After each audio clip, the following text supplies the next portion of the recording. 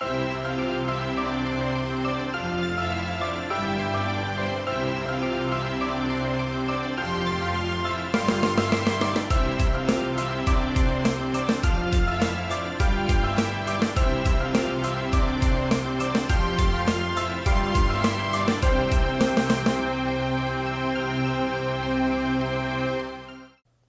Hallo und herzlich willkommen zur aktuellen Ausgabe von BLK Regional am Freitagabend. Und schon wieder stehen wir an der Pforte zu einem langen Erholwochenende. Hatten wir erst letzte Woche eins, haben wir diese Woche wieder eins. Das freut uns natürlich. Pfingsten steht vor der Tür und pünktlich zum Fest wollen wir Sie mit Themen aus dem Burgenlandkreis informieren. Und außerdem gibt es wieder 50 Euro Taschengeld in Bar zu gewinnen und auch eine neue Frage der Woche. Also, wir schauen auf unser erstes Thema. Der Mai hat sich ja mit Temperaturen von 30 Grad, manchmal sogar ein wenig über 30 Grad, verabschiedet. Schwitzen war angesagt. Passend zum Wetter feierte man in der Elsterstadt 110 Jahre Zeitzer Schwimmverein. Und das eine Woche vor dem großen Stadtjubiläum. Mein Kollege Michael Turm hat sich mit Kamera und Mikrofon auch einmal mit in die Fluten gestürzt. Der Zeitzer Schwimmverein lud am 27. Mai zu seiner Geburtstagsfeier in das Zeitzer Nähterbad ein. Seit 110 Jahren besteht der Verein und erfreut sich anhaltender Beliebtheit. 1907 ist der erste Schwimmverein in Zeitz gegründet worden. Im Mai damals wurde das erste Schwimmfest durchgeführt und äh, wir haben im Mai die Sommerbadeöffnung gehabt, am 15. Mai. Und da haben wir uns den 27. rausgesucht äh, mit dem Wetter, wie es heute ist. Und hoffen nun auf, auf gutes Publikum und wollen den Leuten, die in Zeitz mit dem Schwimmen, mit dem Bad nicht so vertraut sind, mal richtig zeigen, wie schön das hier im Wasser ist, wie schön das im Bad ist. Trotz Wassertemperaturen von nur 21 Grad über dem Gefrierpunkt folgten schon am Vormittag zahlreiche Gäste der Einladung wobei der Leistungssport an diesem Tag nicht im Fokus stand. Das Alter der 200 Vereinsmitglieder erstreckt sich von sieben bis über 70 Jahre. Schwimmen ist ja sonst ein recht anonymer Sport. Wir sind in der Schwimmhalle, wir haben das 25-Meter-Becken, haben unsere Wettkämpfe, haben rundherum keinen Platz für Zuschauer. Wenn die Kinder zum Training hier sind, dann stehen die Muttis hinter der Glasscheibe und können zugucken, wenn sie in der ersten Reihe sind. Da fehlt der Kontakt zum Publikum, da fehlt der Kontakt zu den Eltern. Und hier in so einem Freibad, wie wir es in Zeit haben, bei solchem Wetter ist das einfach die, die ideale Bedingung, das Schwimmen und den Schwimmverein äh, der Stadt mal noch ein bisschen näher zu bringen. Als Unterstützung waren die Kanuten, das DLRG, Bogenschützen und Kunstspringer vor Ort und sorgten für entsprechende Abwechslung. In den ersten Jahrzehnten hatte Zeitz einige recht erfolgreiche Schwimmer hervorgebracht. Ja, angefangen hat das mit dem äh, Rebschläger, Kunst- und Turmspringer, der zur Olympiade in Amsterdam war. Dann haben wir den Hans Zierold gehabt als äh, stärksten deutschen Freistilschwimmer als Olympiateilnehmer. Äh, dann hatten wir Messner als Olympiateilnehmer im Brustschwimmen. Wir hatten die Jutta Olbrich in der Olympiamannschaft. Also wir haben, wir haben äh, Olympiateilnahmen gehabt von Zeitzer Schwimmern äh, praktisch vom Beginn an, als mit der, mit der ersten Generation, die den Verein gegründet hat bis in die 60er äh, Jahre rein äh, sind dann natürlich überholt worden von den äh, Sportclubs mit besseren Trainingsmöglichkeiten und mit einer Kaderauswahl, mit der eben so eine Stadt wie Zeitz nicht mithalten kann. Dennoch wird die Nachwuchsförderung weiter betrieben. In Zeitz haben wir noch Kinder- und Jugendwettkämpfe, eine ganze Reihe bis zum Jahresende. Das ist eine Liste, die ich jetzt nicht aufzählen möchte. Dann haben wir die Masters-Wettkämpfe, in Magdeburg und in Kulmbach, äh, wo die äh, Altersklassen ab 25 aufwärts bis, bis 75 äh, teilnehmen. Ja, und dann die, die Burgenlandspiele, die nicht in Zeit stattfinden, wo wir uns beteiligen und eine ganze Reihe von Auswärtswettkämpfen noch für die Kinder und Jugendlichen vor allem. Eine Veranstaltung führt der Schwimmverein allerdings nicht mehr durch. Das 24-Stunden-Schwimmen in Zeitz ist leider eingegangen der Aufwand in der Nacht mit der Beleuchtung und so weiter, es kostet alles Geld, das fällt der Stadt schwer, das zu stemmen. Und dann ist es mit dem 24-Stunden-Schwimmen ja auch so eine Veranstaltung, wo ich wenig Publikum habe. Ich habe die Teilnehmer, wenn ich nachts hier im Freien schwimme, was ich regelmäßig da gemacht habe. Das ist nicht besonders warm im Wasser. Der, man, man, ist froh, wenn man abgelöst wird und wieder raus kann, weil es zu kalt wird. Und in der Schwimmhalle, so ein 24-Stunden-Schwimmen in der Nacht ist einfach langweilig. Im, Im, Freibad macht das Spaß, wenn man nachts schwimmt, wenn man früh in die Morgendämmerung reinschwimmt. Äh, das ist schon schön, aber es ist kein Grund äh, für die Stadt, das mit einem Riesenaufwand äh, auch finanziell zu organisieren. Was hat sich der Verein für die kommenden 110 Jahre vorgenommen? Ein Plan ist klar, wir wollen weitermachen. Wir wollen den Generationswechsel schaffen in der Vereinsführung. Wir wollen als, als Verein in dieser Stärke erhalten bleiben und wollen natürlich mit den anderen Wassersportlern der Stadt und mit dem Bäderbetrieb der Stadt äh, zusammenarbeiten, dass unsere Sportstätten, so wie sie jetzt sind, so attraktiv sind, so bleiben, dass sie auch wirtschaftlich erhalten werden können. Und wir haben, wir haben natürlich ein bisschen Angst, dass über Betriebskosten, Umlage von der Stadt auf die Sportvereine was zukommt, was wir nicht berechnen können, wo wir nicht wissen, äh, wie, wie hart wird der erste Schritt und wie viele Schritte kommen hinterher und wie wirkt sich das dann insgesamt auf den Beitrag aus. Nachwuchsprobleme bei den Kindern haben wir nicht. Da gibt es eine natürliche Sache. Die Kinder sollen schwimmen lernen und am besten können sie das im Schwimmverein. Deshalb kommen da immer wieder welche. Und bei den Übungsleitern ist es dann so, dass das doch manchmal ganz schön stressig ist, äh, das alles zu beherrschen, bis die Kinder so weit sind, dass sie gute Schwimmer sind. Und da brauchen wir natürlich zusätzliches Potenzial, dass der Übungsleiterpool uns erhalten bleibt oder noch wächst. Schauen wir auf die Woche im Burgenlandkreis zurück, kurz und kompakt, zusammengefasst in unseren Meldungen.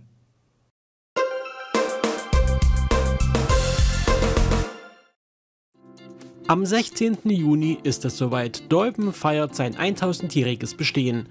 Was die Deubener und ihre Gäste erwartet, wir sprachen dazu mit Bürgermeister Frank Puschendorf. Ja, die Deubener erwartet ein kleines Fest, weil wir haben zwar 1000 Jahre, aber trotzdem sind wir eine kleine Gemeinde und wollen aber unseren Bürgern ein bisschen was bieten. Und wenn es heißt Deuben 1000 Jahre, geht es nicht nur um die Ortsteil und den Ortsteil Deuben, sondern es geht um alle, die hier irgendwo sind. Und auch die Umgebung ist eingeladen dazu. Das Wort Deuben kommt aus dem Altsorbischen und bedeutet Eiche. Erstmalig wurde der Ort 1017 in einer Urkunde des Merseburger Domstifts erwähnt. Und wir können auch noch etwas anderes dazu sagen. Äh, es ist nachgewiesen, dass der Bischof Diedemar den Kanonikern das der Kirche dargebrachte Silber und Leinen und Wolle und den Honig und Schweinezehnten des Burgwartes Skölen äh, übereignet hat. Und damit äh, sind wir also auch felsenfester Meinung, wir haben diese 1000 Jahre hier und sind also historisch gesehen doch gewachsen. Und eine Sache möchte ich noch ergänzen dazu. Wir sind in der Vergangenheit schon in der äh, Jungsteinzeit besiedelt gewesen, dieses Gebiet. Und ein Beispiel dafür aus der Historie ist auch im Bergbaumuseum zu finden. Dort haben wir ja den Goldhelm von äh, Stößen zu finden und das kann sich dann also auch mal mit angeguckt werden. Gemeinsam mit der amtierenden Ortsbürgermeisterin Gudrun Jochmann organisierte man in einem sehr kleinen Kreis das zweitägige Fest und ließ sich so allerhand einfallen. Ja, wir haben uns eigentlich viel einfallen lassen. Wir haben erst mal äh, unser Bergbaumuseum, unsere Vereine stellen sich alle selbst mit Ständen vor. Viele Highlights für die Kinder, Kinderflohmarkt, Hüpfburg. Für die Erwachsenen haben wir schöne Programme, Nachmittagsprogramme. Wir haben ja viel ältere Einwohner. Die möchten wir dann per Bus hierher bringen. Wir haben das Highlight Hans-Jürgen Bayer. Der wird ein Programm hier machen. Wir haben die Sunflowers für den Abend. Für die Jugend haben wir Disco am Freitag, Samstag die Burgenländer. Und ich denke mal, äh, es wird zwischendurch so viel äh, passieren, dass jeder sich wohlfühlen kann. Kaffee und Kuchen gibt es, das wird immer gebraucht und gemacht. Die Firma Beutler versorgt uns. Also wir denken, dass es der Tag wirklich schön wird. Finanzielle Unterstützung erfuhr man von der MIBRAG, die auch bei der Gestaltung des Festes mithilft. So ist während des Festes auch die Befahrung des Standortes möglich. So erfahren interessierte Besucher auch etwas über die Veredelung der Braunkohle in Deuben. Seit der Wende hat sich der Ort sehr zum Positiven gewandelt. Das Image des dreckigen und schmuddeligen Braunkohleort liegt weit weg. Heute kann man stolz auf eine sehr grüne Umgebung sein. Und wir müssen sagen, ja, richtig, wir haben noch Industrie, Gott sei Dank. Wir haben Landwirtschaft ringsherum, auch sehr gut. Aber wir haben eben auch die Möglichkeit, uns zu verändern. Und das hat in den letzten Jahrzehnten funktioniert und ich gehe davon aus, auch in den nächsten Jahrzehnten wird es weitergehen.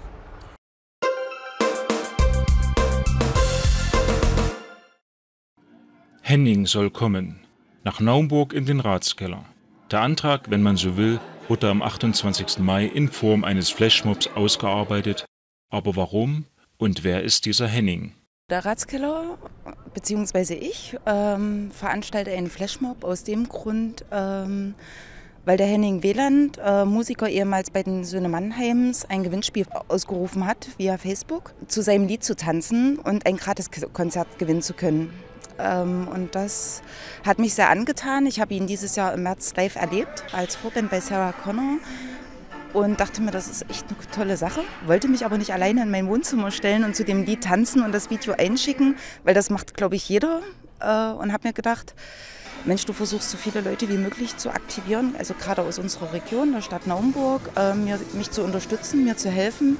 Und wenn das heute eine coole Sache wird und ganz viele Leute kommen und ich das Video dann morgen einschicke, hoffe ich, dass wir gewinnen und einfach diesen Musiker hier in unserer Stadt haben und ein tolles Gratiskonzert mit diesem Henning Wieland haben. Und so wurde ausgiebig getanzt, auch wenn es nicht wirklich um das Leben ging. Also wenn man, glaube ich, auf YouTube oder anderen Mediatheken diese Lieder sich anhört, das ist schon gerade toll, was er macht. Also dieses Tanz um dein Leben und der Letzte an der Bar passt, glaube ich, auch gut zu jedem Gastronom. Also unter anderem auch zu mir. Das ist äh, wirklich eine Musik, die gerade äh, lustig ist, viel Stimmung verbreitet, die, die Spaß macht. Und er ist halt gerade der Musiker, der das Gewinnspiel veranstaltet. Dem könnte man entnehmen, dass da jemand ein Fan ist. Naja, was heißt Fan? Also ich habe das halt, wie gesagt, im März erlebt bei Sarah Connor und war sehr angetan, habe mir danach die Musik intensiver angehört und ähm, fand das echt klasse. Und nachdem dieser Aufruf kam, habe ich mir gedacht, Mensch, warum machst du da nicht mit? Aber wie gesagt, alleine ist das nur halb so lustig. Und so haben wir heute mal eine lustige Veranstaltung für uns, für mein Kollegium auch. Wir haben gerade eine schwere Zeit im Ratskeller. Das ist heute mal was ganz anderes, also was nichts mit normaler Gastronomie zu tun hat wir als Kollegen und unser ganzes Team hat Spaß, die Gäste sollen heute Spaß haben und ähm, wenn man dann dabei noch das gewinnen kann und dann irgendwann ganz Naumburg daran Spaß hat, durch dieses Gratiskonzert und ganz viele Leute daran teilhaben können, finde ich das eine klasse Sache. Wie der Stand der, ich sag mal, Antragsbearbeitung aktuell ist, können Interessierte bei einem Besuch im Ratskeller Naumburg erfragen.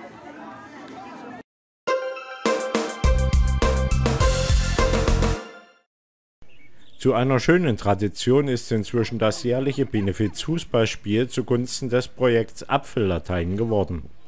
Bereits viermal standen sich Vertreter der Wirtschaft und der Presse aus dem Burgenlandkreis auf dem Rasen gegenüber. In diesem Jahr wird das Spiel am großen Festwochenende anlässlich des 1050-jährigen Stadtjubiläums in Zeitz stattfinden. Am Montag nutzten einige Teilnehmer das schöne Wetter für ein kleines Training im Buschendorf-Stadion. Richtig los geht's dann am Samstag.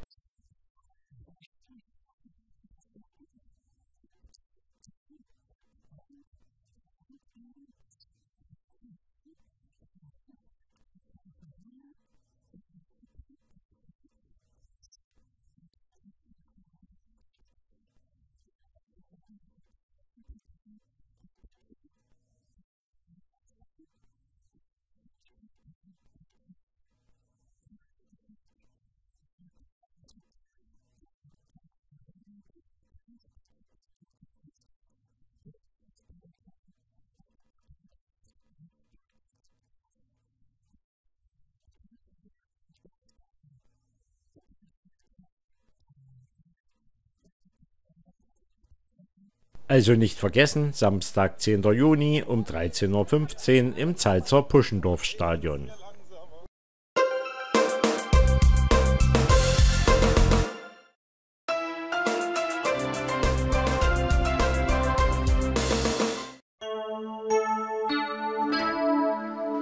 Moin Großer, alles Gute zum 18.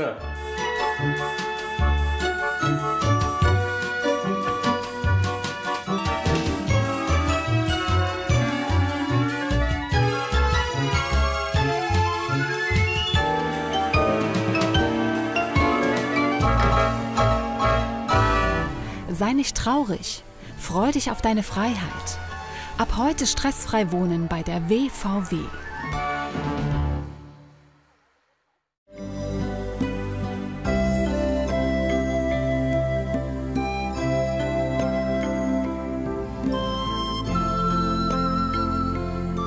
Rico Möbel. Wir bringen Farbe in ihr Leben. Willkommen daheim. Unser Slogan ist unser Versprechen. Wir sind ein Prasselstein in Ihrem Leben und haben das facettenreichste Wohnungs- und Gewerberaumangebot in der Elsterstadt.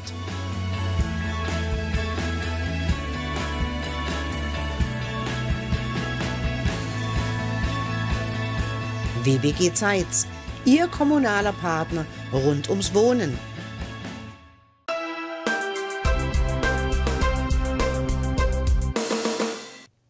Freitagabend heißt es bei BLK Regional immer Gewinnspielzeit.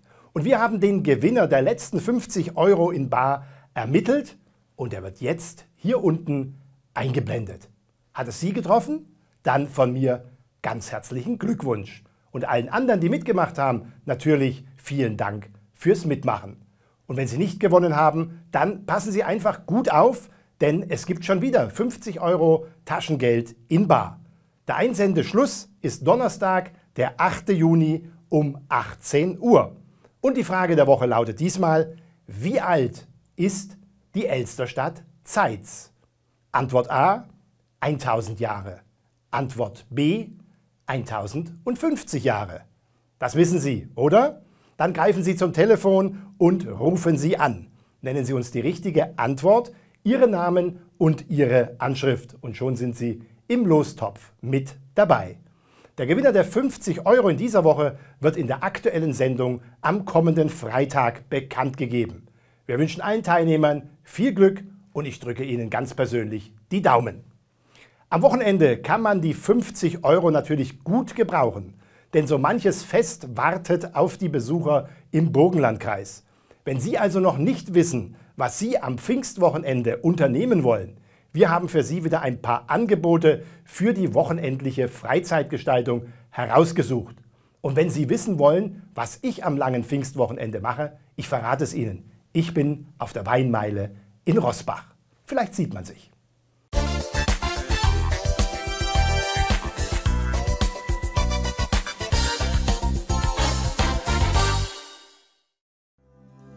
Die ganze Stadt ein Theater. Gemäß dem Motto Was ist Wahrheit können Sie sich am Samstag, den 3. Juni, auf einen Naumburger Theaterspaziergang begeben. Gestartet wird im Nietzsche Dokumentationszentrum, denn Friedrich Nietzsche hat sich wie kaum ein anderer sein Leben lang der Wahrheitssuche gestellt. Der bewährte Dom-Artisten-Begleitservice wird sie dann zum Naumburger Tageblatt führen. Sie werden Zeuge einer neuen journalistischen Reihe. Philosophen hautnah. Überraschungen inklusive. Weiter geht es. Nein, alles verraten wir Ihnen hier nicht. Los geht's um 19.30 Uhr. Endlich ist es soweit. Das Team vom Weißenfelser Bootsverleih lädt Sie am Pfingstsamstag, den 3. Juni ab 14 Uhr zu einem geselligen Nachmittag bei Kaffee und Kuchen ein. Dazu werden Sie eine Menge Parodie und Travestie erleben können. Ein buntes und sehr unterhaltsames Programm erwartet Sie. Von Andrea Berg bis Heino oder auch mal die ausgeflippte Krankenschwester wird Sie verarzten. Der Eintritt ist wie immer frei. Es wird eine tolle Kuchentafel geben. Gern können Sie auch vorab schon mal Ihren Sitzplatz sowie ein Stück Kuchen und eine Tasse Kaffee für 5 Euro reservieren. Somit müssen Sie sich keinen Platz suchen. Reservieren können Sie persönlich direkt im Bootsverleih. Natürlich wird es auch Snacks und frisch gegrilltes geben. Los geht's um 14 Uhr. Willkommen beim Gospel Open Air an der Stadtkirche in Hunmölzen. Seien Sie dabei, wenn die Profimusiker mit ihrer begeisternden Gospelmusik zum Mitsingen, Tanzen und Klatschen animieren. Es gibt Roster und frische Getränke. Der Eintritt ist frei, aber um eine finanzielle Unterstützung zur Deckung der Kosten wird gebeten. Beginn ist um 19 Uhr auf dem Altmarkt in Hohenmölzen. Das Motto der 16. Saale Weinmeile Lockt im Glas ein edler Wein, wird der Durst auf Wasser klein. Die Saale Weinmeile findet alljährlich zu Pfingsten statt. Beginnend in der Kurstadt Bad Kösen führt der Weg entlang der Saale unterhalb der Weinberge zum Weindorf Rossbach. Es geht natürlich auch in entgegengesetzter Richtung. Am Pfingstsamstag und Sonntag präsentieren täglich ab 9 Uhr die Winzer und Anwohner ein stilvolles Fest rund um den eigenen Wein. Auf der 6 Kilometer langen Wegstrecke kann der Weinfreund bei einem der bekannten Weingüter als auch bei den vielen Winzern, die ihren Wein im Nebenerwerb oder als Hobby anbauen, einkehren. Nähere Informationen erhalten Sie unter www.saale-weinmeile.de.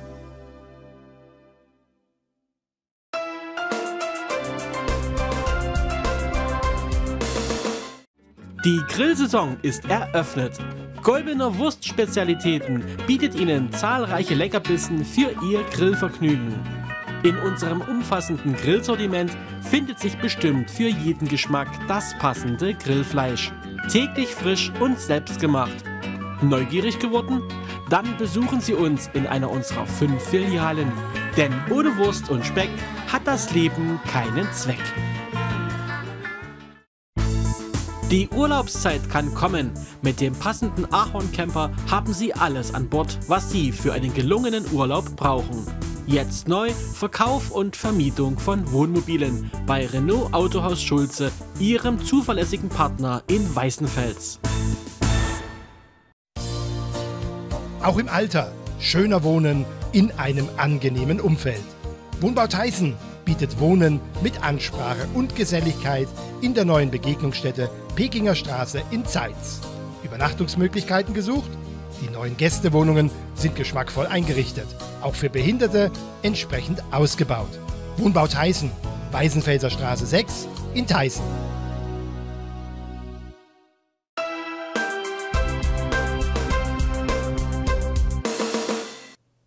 Feierlich wird es demnächst bei unseren Nachbarn in der Elsterstadt. Das Zeitzer Stadtjubiläum steht kurz bevor und die Vorbereitungen laufen auf vollen Touren. An so vieles muss gedacht werden.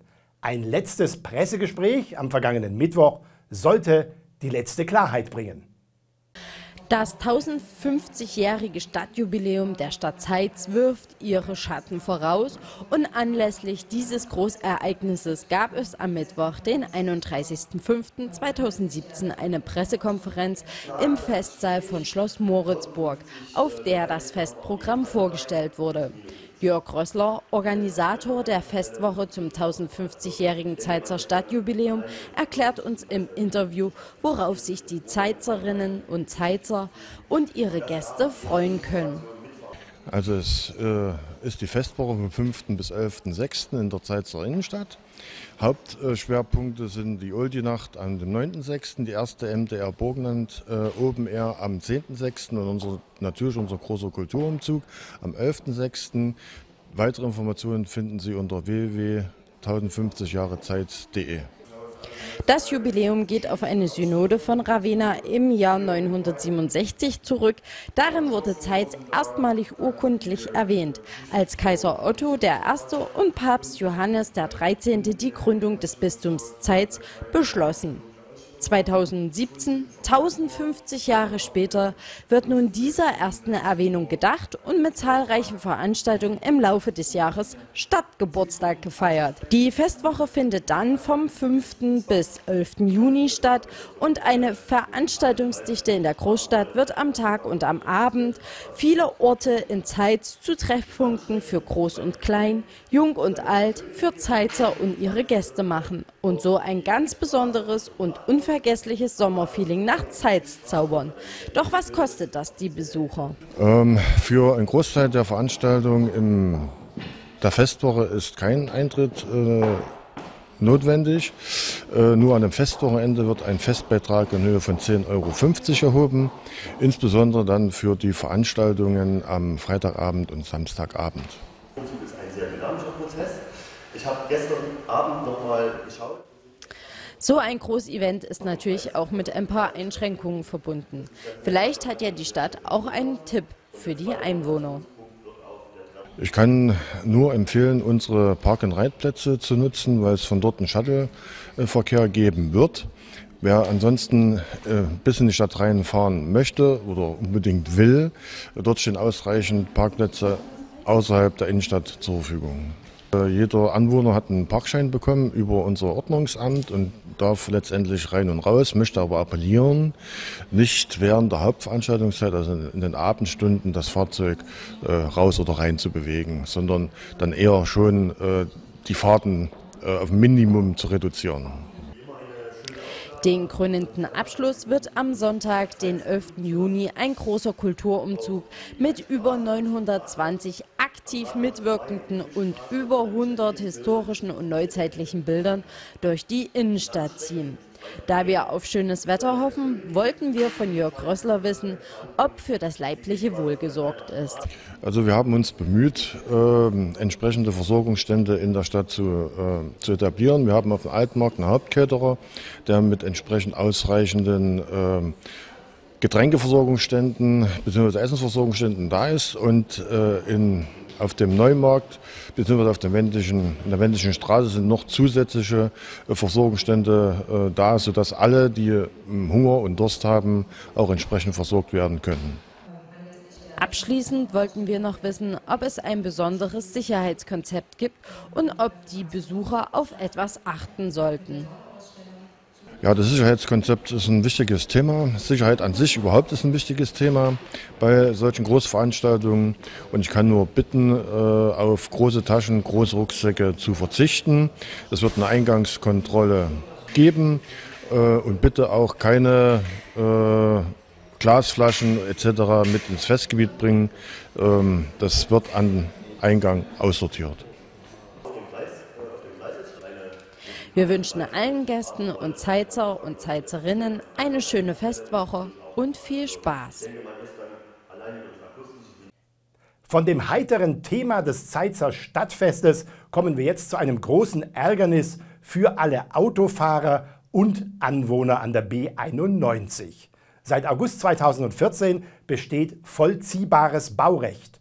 Vor 15 Monaten feierte die Politik feierlich den ersten Spatenstich. Passiert ist bis heute allerdings nicht sehr viel an der geplanten B91 Ortsumgehung Theißen. Aber auch von den geplanten Baumaßnahmen zwischen Deuben und Werschen, von der Politik übrigens für das Jahr 2016 versprochen, sieht man rein gar nichts. Vielleicht brachte eine Informationsveranstaltung vergangenen Mittwoch zum Neubau der Ortsumgehung Theißen Klarheit. Fachleute der Projektfirma Deges informierten über den aktuellen Stand der Bauarbeiten und das wollten wir uns natürlich auch nicht entgehen lassen. Die Verkehrsbelastungen in Theißen sind nach wie vor erheblich. Doch es gibt deutliche Zeichen der Besserung.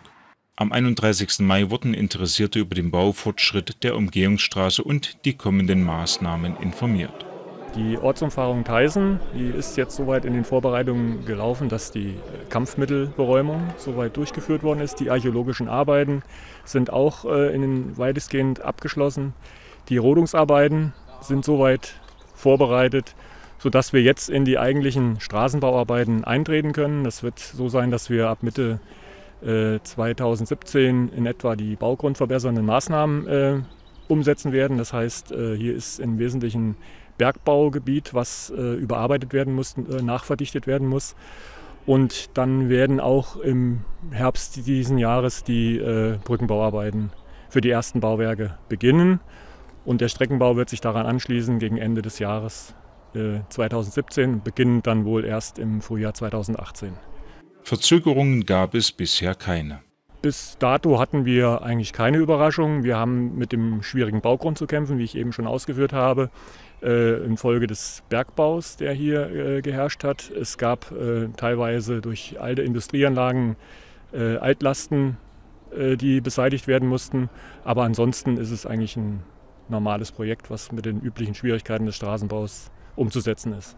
Bei Bauprojekten können im Verlauf der Arbeiten immer Probleme auftreten gerade wenn im Untergrund nicht kartierte Bergbauschächte vorhanden sind. Das können wir jetzt noch nicht sagen. Die ersten Voruntersuchungen sind oder die Voruntersuchungen sind gelaufen und äh, da sind jetzt erstmal keine Auffälligkeiten gefunden worden. Aber äh, im Zuge des Verfahrens, äh, was wir ansetzen werden, kann natürlich sowas passieren, dass Hohlräume unterirdische äh, aufgetan werden. Wie mitgeteilt wurde, wurden schon viele Projekte im Bereich Bitterfeld umgesetzt. Daher hat man viel Erfahrung mit dem Straßenbau in Bergbaugebieten. Während der Baumaßnahme wird versucht, die Belastungen für die Theisner möglichst gering zu halten. Das heißt, wir haben eine Baumaßnahme, es sind äh, große Mengen an, an Baustofftransporten, die umgesetzt werden müssen. Wir haben das alles im System so angelegt, dass die Bevölkerung nicht belastet wird oder wenig belastet wird. Es wird im Wesentlichen über den äh, Baubereich gefahren sodass hier die Ortschaft nicht noch weiter äh, belastet wird über den jetzt schon herrschenden starken Verkehr hinaus. Zum Projekt gehört der Bau von fünf Brücken. Im Zuge der, der Trasse sind drei Bauwerke, die dem, dem Bahnverkehr dienen, also der Überführung des äh, Straßenverkehrs über die Bahn. Das sind zweimal Gleise der äh, Braunkohlebetriebs MIPRAG und einmal ein deutsches Bahngleis. Das sind Standardbauwerke, wie man sie überall an den Straßen sieht. Nichts Exotisches. Ende 2019 soll die Umgehungsstraße für den Verkehr freigegeben werden können. Bis dahin war es ein langer Weg. Jetzt ist es im guten Bereich und ich denke, dass das so weitergeht, wie es zurzeit läuft. Wir haben gekämpft und ich sage mal, wir haben mit dem Kampf was erreicht. Was ich so selbst so in persönlichen Gesprächen erfahren habe, sehen Sie das alles als sehr notwendig und dass es wirklich an der Zeit ist, dass es kommt. Weil der Ort das nicht mehr verkraftet, diesen Verkehrsstrom. Wir sind erstmal alle zufrieden. Zum Glücklich ist noch ein bisschen was hin. Da wollen wir mal warten, bis wir das Band durchschneiden. Dann sind wir glücklich. Das Pfingstfest steht vor der Tür. Wollen wir es reinlassen? Natürlich. Die Weinmeile rund um Rossbach lädt zum Verweilen und zu einem guten Schluck ein. Der Domänenmarkt auf der Neuenburg öffnet seine Tore. Es gibt viel zu erleben im Burgenlandkreis und ein wichtiger Partner dabei wird natürlich das Wetter sein. In den letzten Wochen sind wir ja etwas verwöhnt worden. Schon im Mai über 30 Grad, das gab es selten. Was Petrus jetzt für das kommende Wochenende geplant hat, und hoffentlich regnet es nicht, das zeigen wir Ihnen jetzt in unserer Wettervorschau für den Burgenlandkreis.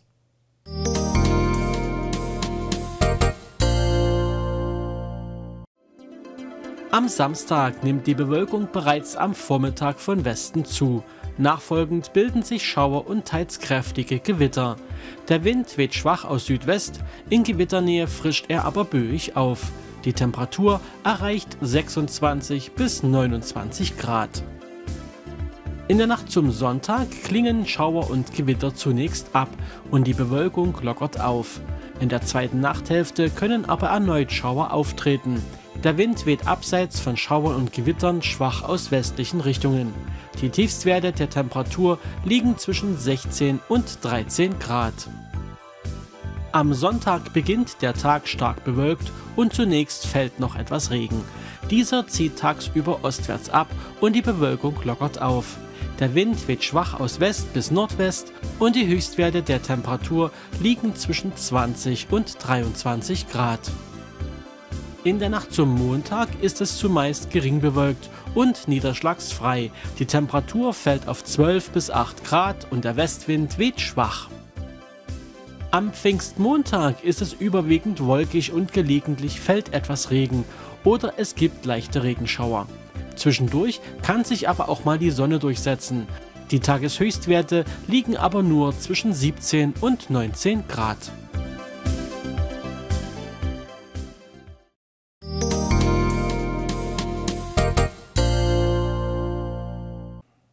Das Pfingstwochenende kann kommen. Unsere Sendung am Freitagabend ist zu Ende. Ich hoffe, auch für Sie waren interessante Informationen mit dabei. Aber keine Angst, am kommenden Dienstagabend zur gleichen Zeit, an der gleichen Stelle gibt es die neueste Ausgabe von BLK Regional. Und Sie vergessen mir nicht das Gewinnspiel. Es winken immerhin 50 Euro Taschengeld in Bar. Hier unten sehen Sie noch einmal die Frage und die Telefonnummer, wo Sie anrufen sollen. Wir wünschen Ihnen viel Glück beim Mitmachen. Möchten Sie weitere Nachrichten aus dem Burgenlandkreis lesen? Dann besuchen Sie uns auf unserer Webseite unter blkregional.tv oder Sie liken unsere Seite bei Facebook. Darüber würden wir uns freuen. So, ich mache mich jetzt aus dem Studio, genieße ein kleines Pfingstbier und starte dann in ein dreitägiges Erholwochenende. Wir sehen uns nächste Woche wieder. Bis dahin, tschüss und auf Wiedersehen.